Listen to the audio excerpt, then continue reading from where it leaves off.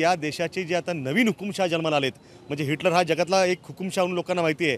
परंतु या भारतातला हिटलर सारखाच असणारा एक नवीन हुकुमशाह जन्माला लोकांनी पाहिला. राहुल गांधीजींच्या संसद सदस्य म्हणजे जे लोकात निवडून आलेले ते काही राज्य राष्ट्रपती नियुक्त नव्हते.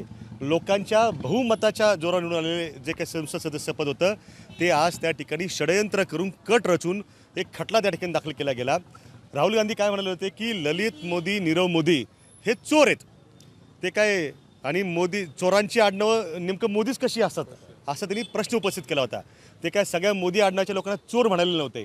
परंतु देशामध्ये अनेक खटले प्रलंबित आहेत न्यायाच्या प्रतीक्षेत आहेत पण ज्या पद्धतीनं गुजरात गुजरात हे या देशातलं एक केंद्र झालेलं आहे अनेक चुकीच्या गोष्टी करण्याचं खूप तातडीनं खटला चालवला गेला तातडीने निकाल दिला गेला आणि त्या निकालानंतर खूप तातडीनं अत्यंत प्रचंड वेगानं त्या ठिकाणी लोकसभेच्या सचिवांनी सेक्रेटरीच्या अध्यक्षांच्या सूचनेवरनं.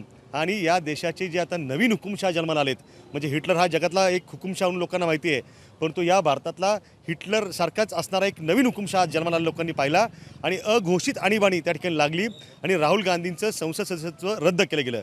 तीव्र संताप काँग्रेस कार्यकर्त्यांमध्ये आहे आणि ती स्वाभाविक भावना आहे.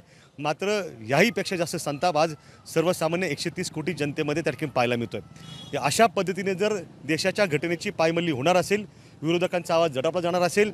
आणि अडाणी आणि अंबानी अशा भांडवलशांच्या भोवती फिरणारं सरकार याच्या विरोधामध्ये महागाई असेल म्हणजे आता पेट्रोल डिझेल गॅस याची दरवाढ असेल. आमच्या महिला भगिनींचं कंबरडं मोडलं आहे त्या ठिकाणी.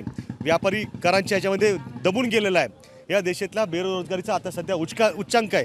तरुण पिढी हवालदार त्या ठिकाणी झालेली आहे. आणि त्याचबरोबर धार्मिक द्वेष जातीय सलोखा कसा तुटेल यासाठी जी लोक काम करतात त्या लोकांनी षडयंत्र करून आज राहुलजींवर जी कारवाई केली त्याचा निषेध या ठिकाणी आम्ही संसदेच्या त्या आदेशाची प्रत फाडून पायदळी तुडून या ठिकाणी केलेला आहे.